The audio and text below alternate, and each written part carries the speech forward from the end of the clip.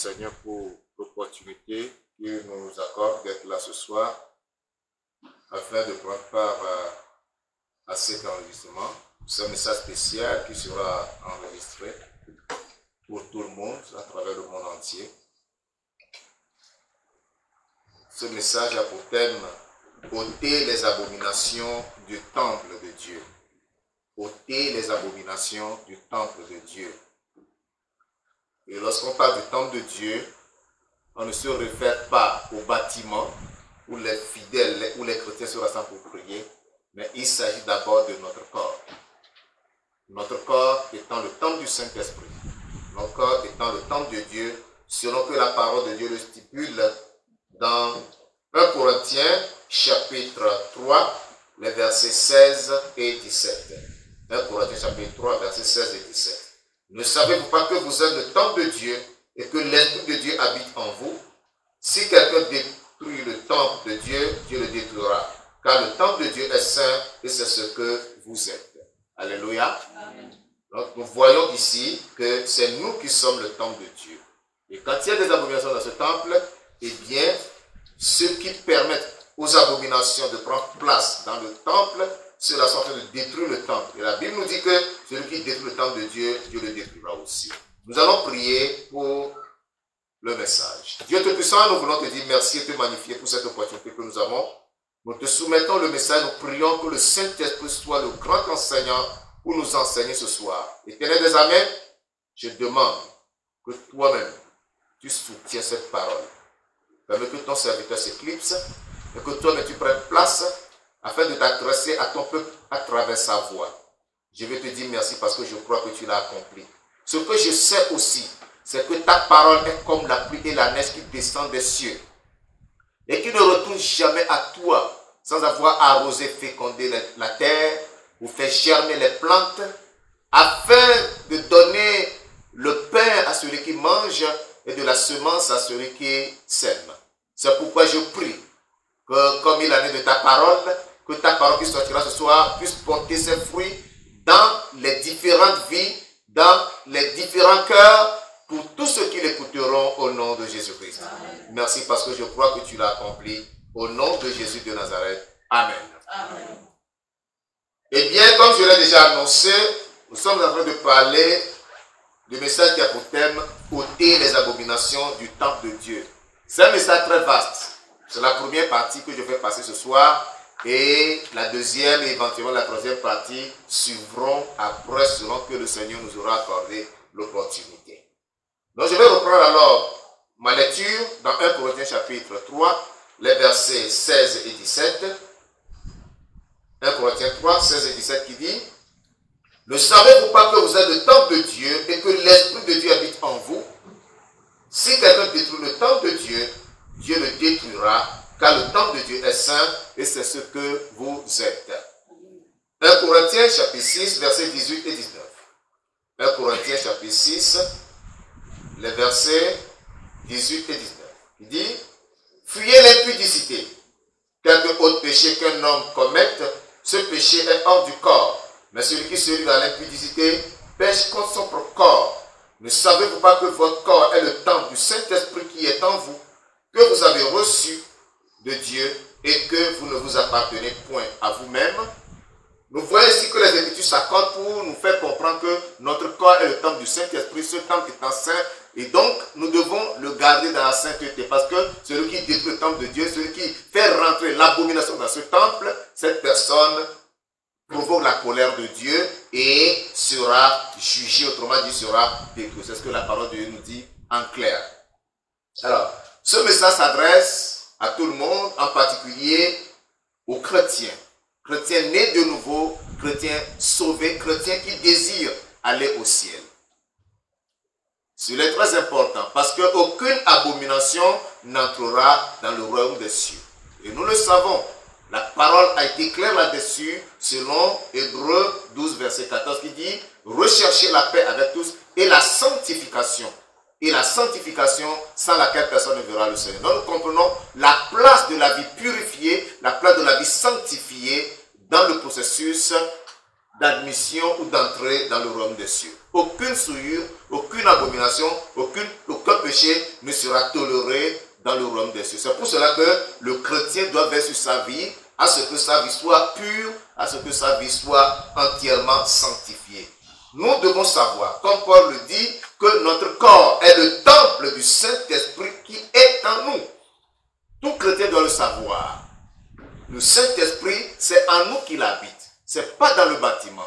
C'est en nous, c'est dans le chrétien, c'est dans le croyant. Du moment où euh, l'homme donne sa vie à Christ et se répand de ses péchés et accepte Christ comme son Seigneur Sauveur personnel, eh bien, le miracle qui se produit, c'est que le Saint-Esprit prend place en lui. Le Saint-Esprit fait de son cœur le temple de Dieu où il habite. Et ce temple doit être saint. Malheureusement, le temple de Dieu aujourd'hui dans la vie des croyants est rempli de toutes sortes d'abominations. C'est ça le réel problème.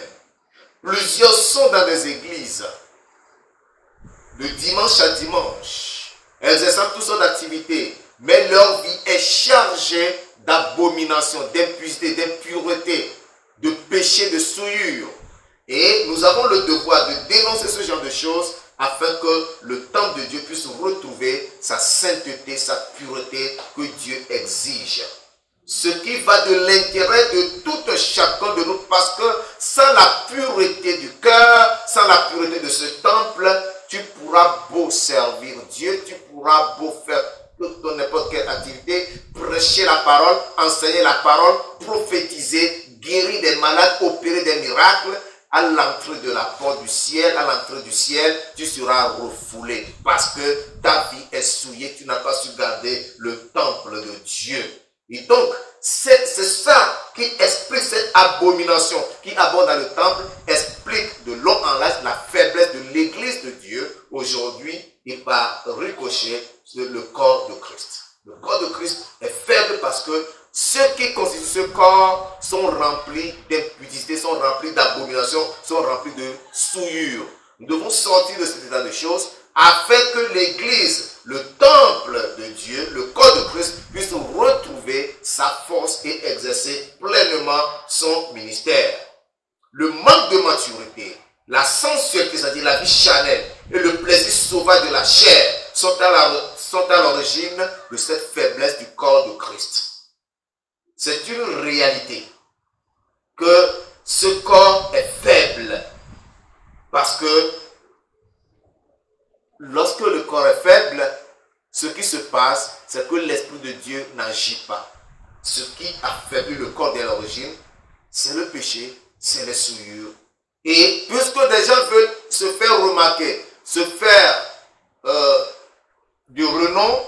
ou se donner de l'importance, ils sont obligés d'avoir recours à des puissances mystiques pour prophétiser, pour donner des visions, pour opérer des miracles qui sont des faux miracles. C'est pour cela que le Seigneur a dit, en ce jour-là, plusieurs me diront, Seigneur, Seigneur, n'avons-nous pas prophétisé en ton nom? N'avons-nous pas opéré des miracles en ton nom? N'avons-nous pas prêché en ton nom? Le Seigneur le dira ouvertement, je ne vous connais pas, éloignez-vous de moi, vous qui connaissez, vous qui commettez l'iniquité. C'est ça la triste réalité. Il y a beaucoup de miracles qui s'opèrent aujourd'hui. Les ignorants s'en réjouissent, mais dommage, ce sont de faux péchés, de, faux miracles.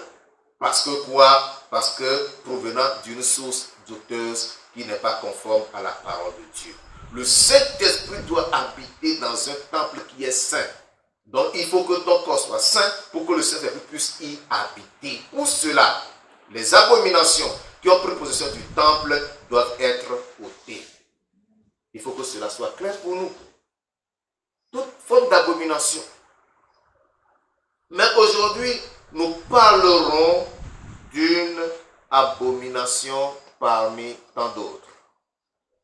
Le thème traitera de long en large sur les péchés en rapport avec le sexe, mais aujourd'hui, nous allons considérer le septième commandement de Dieu, de la parole de Dieu, que nous lisons dans Exode chapitre 20, le verset 14. Exode chapitre 20, le verset 14, qui dit, Tu ne commettras point d'adultère. Amen. Amen. Tu ne commettras point d'adultère. C'est le septième commandement. Remarquez d'abord la fermeté du ton du commandement. Tu ne commettras point. C'est un ordre, c'est un commandement et c'est ferme. Ne dis pas bon, tu peux ou tu ne peux pas, tu essaies de ne pas. Non, on dit tu ne commettras. Tu ne commettras. Le ton est faible. Ce qui voudra dire que l'adultère est une abomination, est un péché odieux devant Dieu. Et Dieu n'aime pas cela. Pourquoi le temps est faible? Parce que c'est l'une des pires abominations aux yeux de Dieu. En conséquence, elle est punie de mort. Dans la loi de Moïse, celui qui commettait l'adultère s'exposait à la mort. Lévitique, chapitre 20, le verset 10.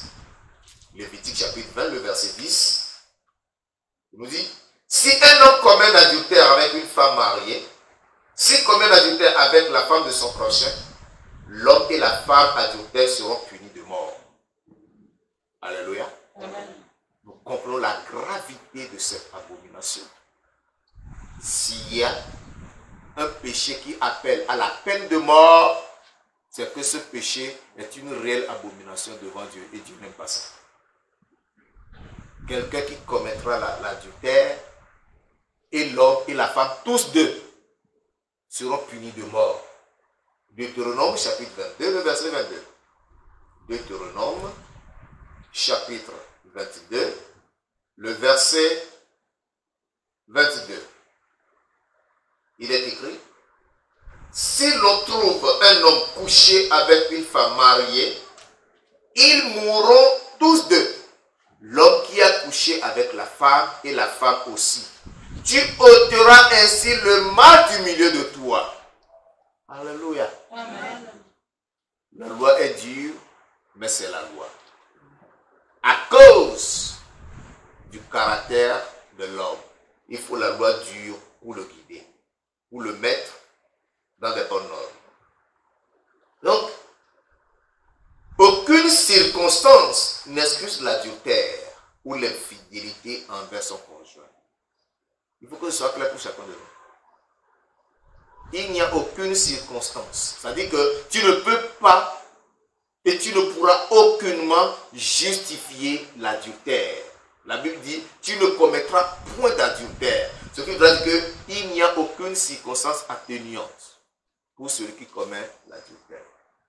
Tu ne peux pas dire, c'est parce que ma femme est en voyage, c'est parce que ma femme est malade, c'est parce que ma femme ne me satisfait pas, c'est parce que je suis fatigué de ma femme, c'est parce que j'ai envie de faire une autre expérience que j'ai commis l'adultère. Aucune raison ne justifie l'adultère. Mais en fait, posons-nous la question de savoir, ceux qui commettent l'adultère, qu'est-ce qui les pousse, quelle est la raison qui les pousse à commettre l'adultère?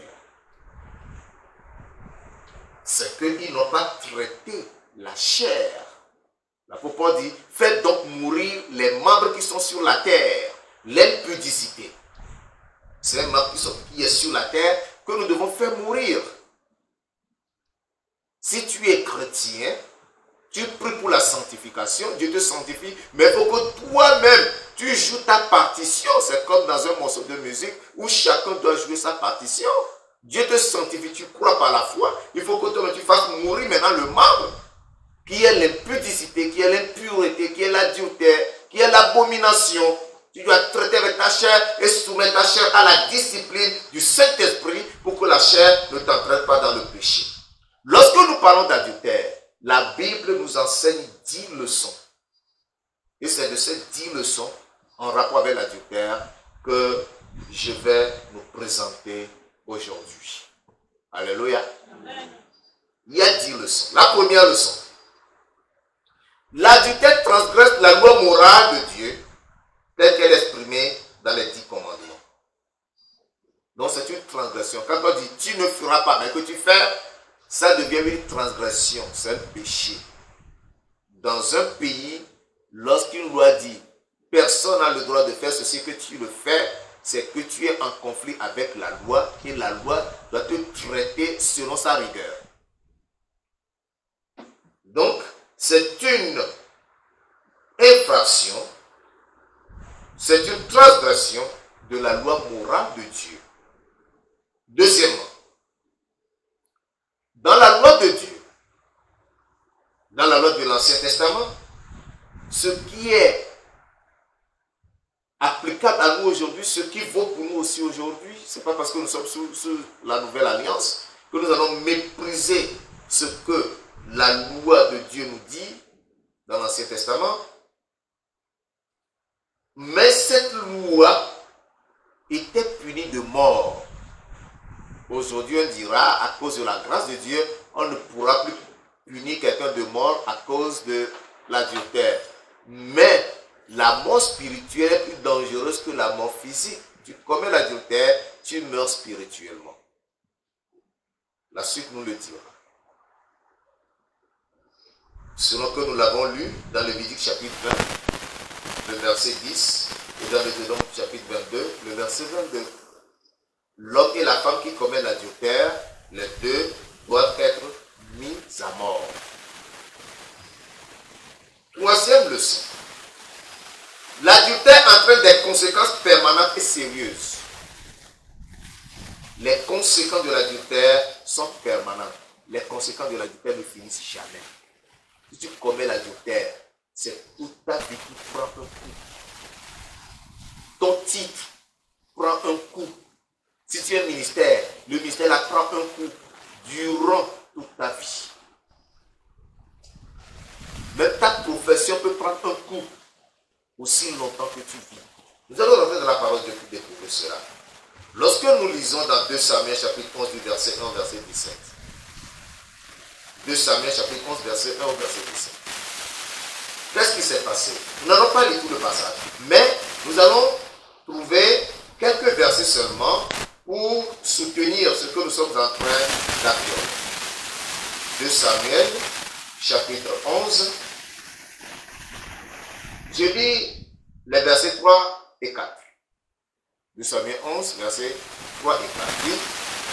David fit demander qui était cette femme, et on lui dit, n'est-ce pas Bathsheba, fille d'Eliam, femme du le Hétien Et David envoya des gens pour la chercher. Elle vint vers lui et il coucha avec elle. après s'être purifié de sa souillure, et retourna dans sa maison. Hmm. Voilà la chute, la dégringolade d'un roi, d'un souverain. Parce qu'il n'a pas su maîtriser ses pensées. Parce qu'il est resté à la maison, il n'était pas allé en campagne pendant que le peuple était en campagne. Le roi David a préféré rester à la maison. Et un il était monté sur son toit. Il a regardé du côté de la rivière, une jolie femme se Et il a demandé, ça c'est qui cette femme-là? Oh, c'est la femme du riz, c'est la fille de Dieu. La femme du riz, ça ne lui a rien dit, il n'a même pas pensé que c'est une femme mariée. Cette femme, il fait de cette femme et commet l'adultère avec elle. Si vous connaissez l'histoire, vous devez comprendre ce que je suis en train de dire. Les conséquences de cet acte que David a posé l'ont suivi toute sa vie. Voyons, lisons le verset 17. Voyons le verset 17. Les hommes de la ville firent une sortie et se battirent contre Joab. Plusieurs tombèrent parmi le peuple, parmi les serviteurs de Dieu, et Uri le Bétien fut aussi tué. Qui a tué Uri? Qui a fait tuer Uri? C'était David, afin que l'affaire ne se répande pas. Mais avant de le tuer, il lui a tendu un piège. Il a fait venir Uri. Il a fait manger Uri, il lui a donné à boire. Et il a demandé à Uri d'aller dormir chez lui. Bien qu'étant en état d'ébriété, Uri s'est dit non. Pendant que l'âge de l'éternel se trouve en campagne, et que tout le peuple de Dieu se trouve là en campagne, moi je ne peux pas aller dormir chez moi. Eh, alléluia. Donc David a préféré dormir, euh, pardon, Uri a préféré dormir avec les serviteurs de David dans la cour. Ça s'est répété, ça s'est répété. David a vu que son plan n'a pas marché. Il a dû le renvoyer avec une lettre dans laquelle était écrite sa sentence de mort qu'il devait aller remettre au chef de l'armée. Et on l'a placé à l'endroit où le combat devait être plus dur. Voilà comment il aurait été emporté. Et ceci, cette peine, David l'a porté toute sa vie. Chapitre 12. 2 Samuel chapitre 12, verset 14. 2 Samuel chapitre 12, verset 14. Mais parce que tu as fait blasphémer les ennemis de l'Éternel en commettant cette action, le fils qui t'est né mourra. Le fils qui lui est né était mort. Le fils adultérin était mort. Mais ce n'était pas fini. Beaucoup de sanctions ont été prononcées contre lui. L'épée n'a jamais quitté la maison de David. Et vous connaissez les abominations, les insectes qui ont été commis dans la maison de David, suivi du sang versé dans sa propre maison, entre ses enfants. C'est à cause de ce péché que David a vécu toutes ces expériences amères. Jérémie chapitre 23, versets 10 et 11. Jérémie chapitre 23, Jérémie 23, versets 10 et 11. Il dit, quand le pays est rempli d'adultère, le pays est en deuil à cause de la maldition. Les plaies du désert sont desséchées. Ils courent au mal. Ils n'ont de la force que pour l'iniquité. Prophètes et sacrificateurs sont corrompus. Même dans ma maison, j'ai trouvé leur méchanceté, dit l'Éternel. Vous voyez ce que fait l'adultère? L'adultère est rentré même dans la maison de Dieu. Donc, ce n'est pas chose étrange et étonnante que de voir aujourd'hui les serviteurs de Dieu se vautrer dans l'adultère. Ça existait depuis longtemps. Et qu'est-ce que cela a engendré? Cela a engendré, comme le verset 10 le dit, le pays est en deuil. Ça a engendré le deuil dans tout le pays à cause des abominations des prophètes et des sacrificateurs. Ce n'est pourtant pas une raison pour justifier l'adultère aujourd'hui. Ce n'est pas une raison. Parce que cela s'était fait, ce n'est que des actes qui étaient laissés qu'il faut suivre. Il y a des actes qu'il ne faut pas suivre. Tout ce qui est écrit dans la Bible est écrit pour notre édification. Il y a des choses à imiter et des choses à éviter. Ce genre de pratique doit être évité. Alléluia. De même, dans 1 Corinthiens chapitre 6, nous l'avons lu au départ, mais nous relisons encore. 1 Corinthiens chapitre 6, verset 16 à 18. 1 Corinthiens 6, du verset 16 au verset 18. Il dit, loin de là, ne savez-vous pas que ceux qui s'attachent à la prostituée est un seul corps avec elle? Car, est-il dit, les deux deviendront une seule chair. Mais celui qui s'attache au Seigneur est avec lui un seul esprit. Fuyez l'impudicité. Quelque autre péché qu'un homme commette, ce péché est hors du corps. Mais celui qui se livre à l'impudicité pêche contre son propre corps. Alléluia. Si tu t'attaches à une prostituée, tu deviens un avec la prostituée. Votre esprit, ou bien vos esprits s'unissent et font un. Parce que quoi?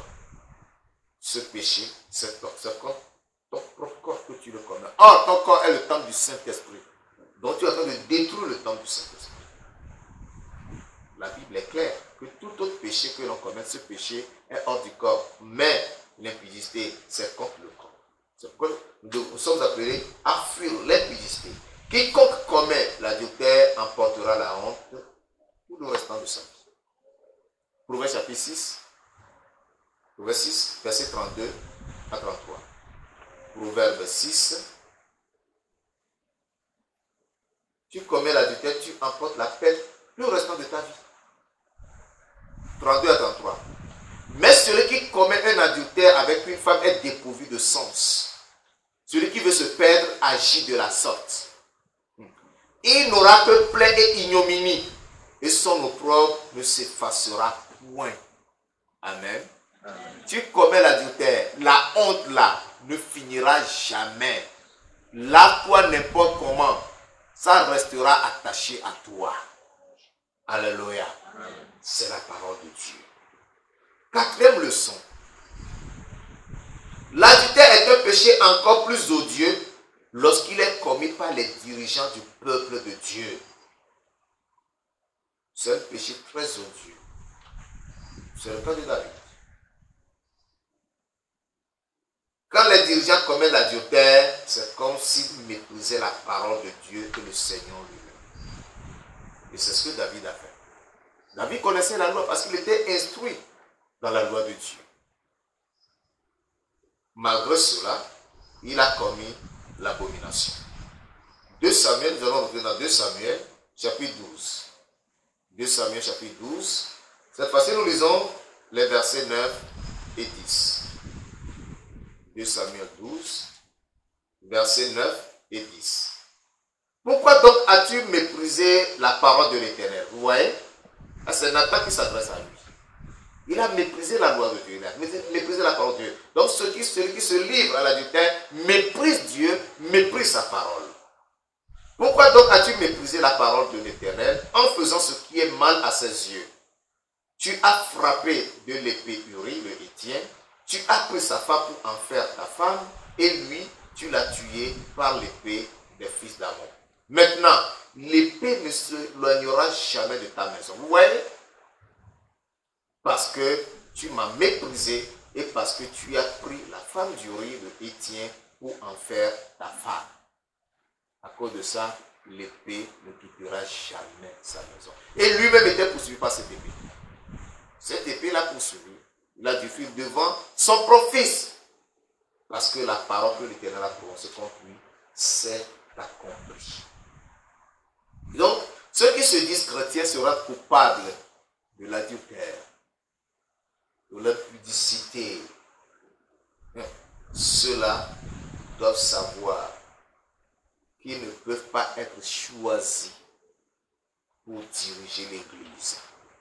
Ou s'ils occupent déjà une place dans la direction de l'Église, ils ne méritent de continuer. Ils doivent être déchus catégoriquement et rester, dans cette déchéance. Parce qu'ils ne sont pas un exemple, ne sont pas un modèle. Tu n'es pas un exemple. Un pasteur qui commet l'adultère, par exemple. Un diable qui commet l'adultère. Un ancien qui commet l'adultère. Quelle leçon va-t-il donner aux autres? Quel enseignement va-t-il donner à la congrégation? Quel conseil donnera-t-il au peuple? Il n'a plus de conseil à donner parce qu'il est un mauvais exemple. Il ne mérite plus sa position. Cinquième leçon. L'adultère et la promiscuité sexuelle chez les dirigeants et les membres du peuple de Dieu découlent directement de l'adultère spirituelle, c'est-à-dire de l'infidélité envers Dieu. C'est-à-dire le résultat ou le résultat de l'infidélité envers Dieu, c'est l'adultère. Comprenons cela en lisant dans Osée, chapitre 4, les versets 13 et 14. Osée, chapitre 4, versets 13 et 14. Il sacrifie sur le sommet des montagnes, il brûle de l'encens sur les collines, sous les chênes, les peupliers, les térébintes, dont l'ombrage est agréable. C'est pourquoi vos filles se prostituent et vos belles filles sont adultères. Vous voyez, c'est parce qu'ils vont être infidèles à Dieu, sacrifiant aux idoles que leurs filles et leurs belles filles se livrent à la prostitution et à l'adultère. Conséquence de cette infidélité envers Dieu. Bon, excusez-moi, là j'ai lu le verset 14. Je relis, je vais reprendre à partir du verset 13 plutôt.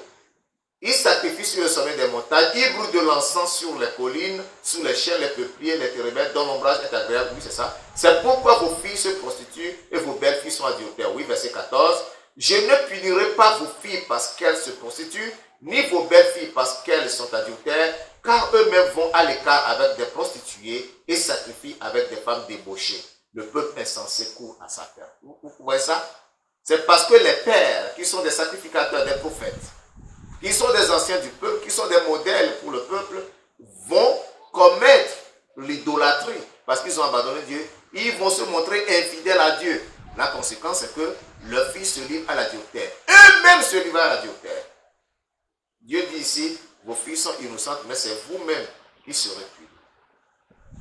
C'est ça, parce que vous n'avez pas été un bon exemple. Chapitre 9, Osée chapitre 9, le verset 1. Osée le verset 1 dit, Israël, ne te livre pas à la joie, à la ligresse comme les peuples, de ce que tu t'es prostitué en abandonnant l'éternel, de ce que tu as aimé un salaire impur dans toutes les aires à blé. C'est-à-dire que quand tu commets l'adultère, quand tu commets l'adultère, ne te glorifie pas. Ce n'est pas un exploit que tu as fait. Ce sont les modèles qui se font, euh, comment ça s'appelle, euh, qui se font de renom en disant, moi j'ai sorti tel nombre de femmes, et les femmes aussi se disent, oui, moi j'ai sorti tel nombre d'hommes. Ils se glorifient des abominations. Toi, chrétien, qui commet le péché, l'abomination, l'impureté, ne te glorifie pas, ne te vante pas. C'est pour cela que l'apôtre a été sévère avec les Corinthiens.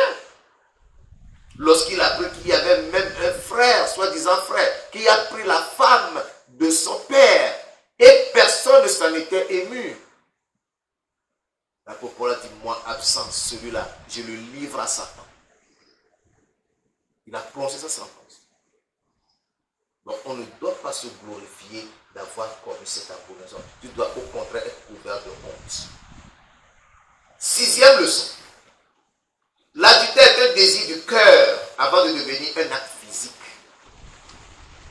Et on ne se lève pas pour tomber dans l'adultère. Ça se prépare dans le cœur.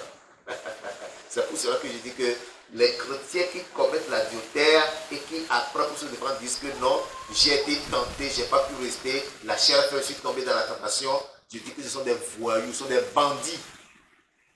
Parce que le temps que tu as rencontré cette femme, le temps que d'abord tu l'as convoité, tu l'as désiré, Et selon la loi de Jésus-Christ, tu as déjà commis un adultère avec elle. Maintenant, tu avances. Tu vas lui parler. Vous allez vous donner rendez-vous. Vous allez vous rencontrer sur le du rendez-vous.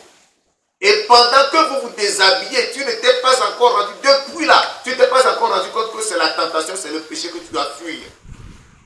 Qu'est-ce que la parole de Dieu dit? Fuyez l'impudicité. La Bible ne dit pas résister à l'impudicité. Il dit résister au diable. Il fuira loin de vous. Mais fuyez l'impudicité. Tu dois fuir devant l'adultère. Tu, tu dois fuir devant l'impudicité. Tu dois fuir devant euh, la fornication. On ne résiste pas. Il y a des péchés auxquels on ne résiste pas. C'est comme tu mettrais du feu dans ta chemise. On dit non, je ne peux pas me brûler. Qui te dit que tu ne vas pas te brûler? Tu seras bien brûlé. C'est pourquoi il n'y a pas d'excuse pour l'adultère. Dans la Bible, la convoitise sexuelle est clairement considérée comme un péché. C'est pourquoi Job dit ceci. Lisons Job chapitre 31, le verset 1 et le verset 7. Job chapitre 31, le verset 1 et le verset 7. J'avais fait un pacte avec mes yeux et je n'aurais pas arrêté mes regards sur une vierge. Verset 7. Si mon pas s'est détourné du droit chemin, si mon cœur a suivi mes yeux, si quelque chose s'est attaché à mes mains, que je sème et qu'un autre moissonne, et que mes rejetons soient déracinés. Vous voyez l'engagement de cet homme. A fait par ses yeux afin de ne pas regarder, afin de ne pas regarder une vierge, afin de ne pas arrêter ses regards sur une vierge pour la convoiter. Si réellement il parle devant Dieu, si réellement j'ai commis cela, voyez ce qu'il a dit? Si mon pas s'est détourné du droit chemin, si mon cœur a suivi mes yeux, si quelque chose s'est attaché à mes mains, dans ce 8, que je serve et qu'un autre moissonne et que mes rejetons soient déracinés. Et il continue, vous allez voir que cet homme est un homme intègre. Verset 9 dit, si mon cœur a été séduit par une femme, si j'ai fait le guet à la porte de mon prochain, que ma femme tourne la meule pour un autre et que d'autres la déshonorent. Alléluia. Ça démontre combien Job a été intègre dans sa marche avec le Seigneur. En dépit de tout ce qu'il a été avant de se convertir. Alléluia. C'est un modèle, c'est un exemple Septième leçon. Septième leçon. L'immoralité sexuelle pratiquée au sein de l'Église doit être disciplinée. Elle est intolérable. Ça doit être discipliné. Selon 1 Corinthiens 5, verset 1 à 13, dont j'ai fait mention tout à l'heure, où ce jeune homme a pris la femme de son père. Aucun membre de l'Église, ni les pasteurs, ni les théâtres, aucune personne ne s'en était ému. Mais quand l'apôtre Paul a appris ça, dit, mais qu'est-ce que c'est ça? Pourquoi vous, pourquoi vous tolérez des choses comme ça dans l'Église? Et moi, absent là, je condamne cette personne. Je le livre à Satan. La discipline. Il a discipliné tout de suite. Afin que l'âme soit sauvée au jour du Seigneur. Cela est très important. Nous devons le savoir. Huitième leçon. L'adultère est un péché si grave aux yeux. Euh, pardon. L'adultère est un péché si grave et aux conséquences si dévastatrices qu'il donne à la personne innocente qui a été trompée le droit de divorcer. Ce péché est très dangereux. Ses conséquences sont si dévastatrices que celui qui a été copifié, le français dit copifié, celui qui a été trompé, ça dit que l'homme victime de cet, de cet adultère. Ma femme est là, quelqu'un qui vient connaître avec, avec commettre adultère avec ma femme, eh bien, j'ai le droit de divorcer. Lorsque ta femme commet l'adultère, ou bien ton mari commet l'adultère, ta vie en danger, tu as le droit de divorcer. Le Seigneur même l'a dit dans Matthieu 19, verset 9. Mais quelqu'un me dira, mais qu'est-ce que l'amour dit? Qu'est-ce que le pardon dit? Oui, il faut pardonner, il faut aimer, il faut faire comme si. C'est vrai. Mais Jésus a enseigné. Matthieu 19, verset 9. Il dit, mais je vous dis que celui qui répudie sa femme, sauf pour infidélité. Alléluia. Sauf pour quoi? Infidélité. C'est-à-dire que, sauf pour adultère, et qui en épouse une autre commet un adultère. C'est-à-dire que si pour n'importe quelle raison tu, tu ta femme pour épouser une autre femme, tu as commis l'adultère. Mais si c'est à cause de l'adultère de la femme, pour que la parole soit claire. Alléluia. Neuvième enseignement. Les adultères impénitents n'hériteront pas le royaume de Dieu. Parce que celui qui commet l'adultère et qui refuse de se repentir, cette personne n'héritera pas le royaume de Dieu. Parce qu'il y en a qui s'en font un honneur de détruire la vie d'autres femmes, de ruiner la vie des femmes, multipliant l'adultère parce qu'ils ne peuvent pas contrôler leur désir sexuel. Ils ne peuvent pas contrôler leur libido. Ces gens dans l'église, tu ne te répands pas, tu n'auras pas de place dans le royaume de Dieu. Ils seront séparés de la vie et du salut contre Dieu. Ça, c'est clair. C'est clair. Nous avons déjà lu 1 Corinthiens 6, mais nous allons lire encore 1 Corinthiens 6. Ensuite, nous lirons Galates chapitre 5. 1 Corinthiens chapitre 6, le verset 9. dit, Ne savez-vous pas que les injustes n'hériteront point le royaume de Dieu? Ne vous y trompez pas. Ni les impudiques, ni les idolâtres, ni les adultères, ni les efféminés, ni les infâmes, ni les voleurs, ni les cupides, ni les ivrognes, ni les outrageux, ni les ravisseurs n'hériteront pas, n'hériteront le royaume de Dieu. Alléluia. Les impudiques sont cités en premier. N'hériteront pas le royaume de Dieu. Quand vous lisez Galates chapitre 5, du verset 19 au verset 21, nous n'allons pas lire. Là, les œufs de la chair sont mentionnés. Et au premier rang de ces œufs de la chair, c'est l'impudicité. On dit que tous ceux qui commettent de telles abominations n'hériteront pas le royaume de Dieu. Enfin, dixième et dernier enseignement sur l'adultère, c'est que l'adultère et la prostitution sont des termes utilisés pour décrire l'église apostate et l'abomination qu'elle engendre. L'église apostate dans les derniers jours. Et nous sommes déjà dans les, dans les derniers jours. Il y a des églises qui sont là encore. On va officier, on va louer, on va adorer, on va prêcher. On organise des séminaires, des causes, beaucoup de choses. Mais ces églises sont déjà apostates parce que quoi? Parce que les leaders de l'église se sont livrés, bien se livrent à l'impudicité. Mais l'église apostate des derniers temps, ça c'est l'église de façon générale. L'église universelle qui sera apostate, qui va abandonner Christ. Qui vont travailler en collaboration avec la bête et le faux prophète. Je ne suis pas en train d'enseigner euh, ça maintenant, je ne suis pas dans l'eschatologie. Mais lisons Apocalypse chapitre 17, versets 1 à 5. Apocalypse chapitre 17, verset 1 à 5. Puis un des sept anges qui tenait les sept coupes vint et il m'adressa la parole en disant, Viens, je te montrerai le jugement de la grande prostituée qui est assise sur les grandes eaux. C'est avec elle que les rois de la terre se sont livrés à l'impudicité. Et c'est du vin de son impudicité que les habitants de la terre se sont enivrés. Il me transporta en esprit dans un désert, et je vis une femme assise sur une bête écarlate, pleine de noms de blasphème, ayant sept têtes et dix.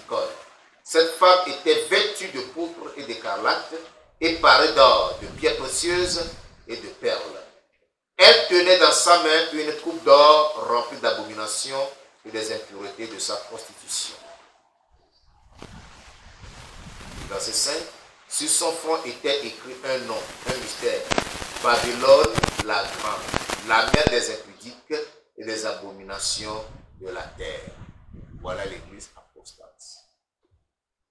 Alléluia. Elle est désignée de quoi? Elle est désignée en tant que l'adultère ou la grande prostituée. Je vais conclure en nous conduisant dans Proverbe chapitre 6. Proverbe chapitre 6. Proverbe chapitre 6. Du verset 32 au verset 35. Proverbe 6, 32 à 35.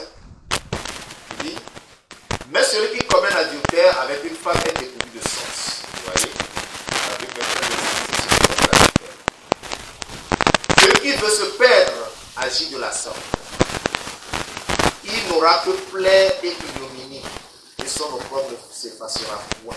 Car la jalousie met un homme en fureur. Écoutez bien cette partie-là. Car la jalousie met un homme en fureur. Et il est au jour de la vengeance. Il n'a égard à aucune rançon. Et il est inflexible. Quand même, tu multiplieras les dons. Ça voudra dire quoi? Lorsque tu vas commettre l'adultère avec la femme d'autrui, quels que soient les dons que tu offriras à cet homme que tu as cocufié, sa jalousie ne connaîtra jamais de fin. Il va se venger de toutes les manières sur parce que tu l'as déshonoré, parce que tu as touché à son intimité. Il ne te laissera pas faire. C'est pour cela que nous disons que les conséquences de la vie sont éternelles. Ça ne finit pas aussi longtemps que tu vivras ces conséquences dessus. Alléluia. David a été un grand roi, mais cette abomination, même Bathsheba, l'a subi toute sa vie. Ses conséquences ont travaillé dans sa maison durant toute sa vie.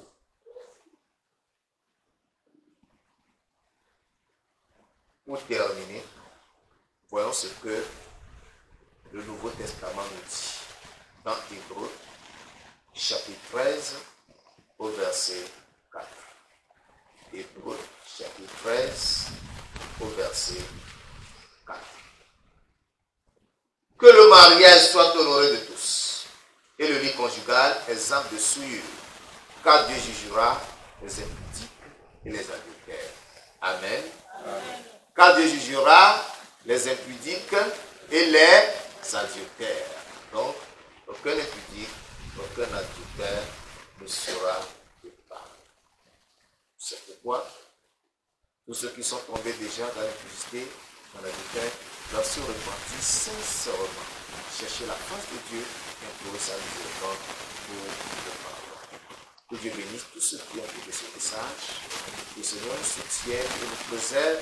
Si toi, tu n'as pas exploité cette abomination, ma prière est que tu puisses te conserver tel que tu t'es conservé jusqu'à maintenant, que tu te conserves ainsi jusqu'au dernier jour de ta vie sur terre. Alléluia. Amen. Je vais prier. Père, dans le nom puissant de Jésus-Christ de Nazareth, je vais te dire merci pour ta parole. Je vais te magnifier, t'exalter, parce que Seigneur, tu nous as parlé. Amis, je te recommande tes enfants. Tous ceux qui, Seigneur Dieu Tout-Puissant, se sont gardés jusqu'à l'heure où nous sommes, Seigneur, donne la force et la grâce de se conserver ainsi, loin de l'impudicité, loin de la fornication, loin de l'adultère, jusqu'au dernier jour de leur vie sur terre, au nom de Jésus-Christ de Nazareth. Je prie pour tous ceux-là qui sont tombés dans l'adultère. Papa, aie pitié d'eux. Relève-les au nom de Jésus-Christ de Nazareth. Accorde la grâce de se repentir sincèrement, de rejeter ce péché et de revenir à toi au nom de Jésus-Christ. Ceux qui sont liés par l'esprit d'impudicité, mon Dieu, mon rocher, je prie que ce lien soit brisé dans leur vie au nom de Jésus-Christ.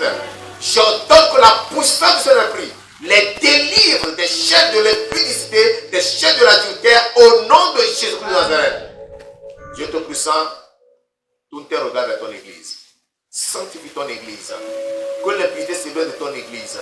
Avec la sanctification, la sainteté, la pureté, la justice anime ton église et que le Saint-Esprit fasse son retour dans l'église et que l'église soit forte et puissante pour accomplir la mission que tu lui as signée au nom de Jésus-Christ. Nous bénissons parce que nous croyons que tu nous as aussi. Que toute la gloire, la louange et la gloire te soient rendues. Au nom puissant de Jésus de Nazareth, nous avons prié. Amen. Amen.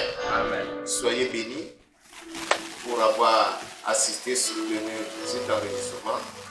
Que Dieu vous bénisse. Nous allons remercier le Seigneur ensemble. Nous allons le magnifier pour l'occasion qu'il nous accorde d'être là ce soir pour cet enregistrement. Élève la voix et bénis le roi des rois. Dieu vous présente à nos gloires, nous bénir et te magnifier. Ta grâce que serait d'être là ce soir pour cet enregistrement. Nous sommes présentement reconnaissants parce que c'est l'opportunité que tu nous accordes. Répandre encore la bonne nouvelle. Envoie le message dans la Jésus à tes enfants qui dans le monde. Afin de sauver âme, afin de délivrer une âme des pièges du diable, des pièges de l'ennemi. Dieu te reçois toute la gloire, reçois la louange, reçois la sur ta fidélité. Tu es béni en ces jours, tu es sanctifié de gloire tu es magnifié dans ta autorité. Gloire et adoration soient rendues. Au nom de Jésus de Nazareth, nous avons prié.